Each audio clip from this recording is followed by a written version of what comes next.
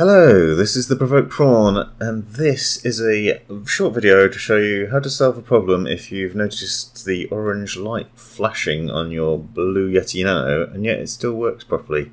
I recently installed the Blue Yeti Nano on a new gaming PC and found that it was flashing orange, and yet I could click the button to switch it to muted and unmuted and see the red ring and the green ring appear, depending on which mode it was in and it would still work and record audio, but was constantly flashing this nagging orange light.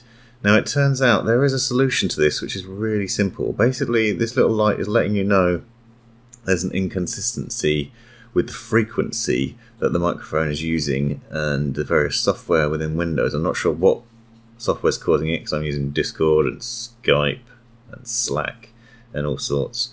But the easy solution is to download the Yeti Sherpa software. In there, you'll be able to see the frequency that it's set to. Now, if you dive into Windows, you can then go into your sound settings. You can open the Windows control panel straight from Sherpa as well, which makes life easy.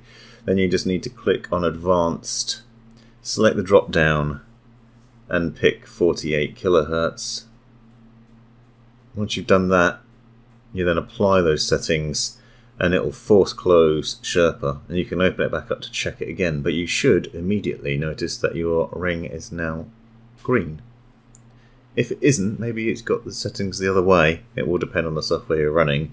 But if you play around with the uh, properties of this, you should find that it fixes it nicely. As a side note, if you've not downloaded the Sherpa software, it's well worth doing because this software also helps you to update the firmware and make tweaks within the software to the mic gain and playback volume and the cardioid mode.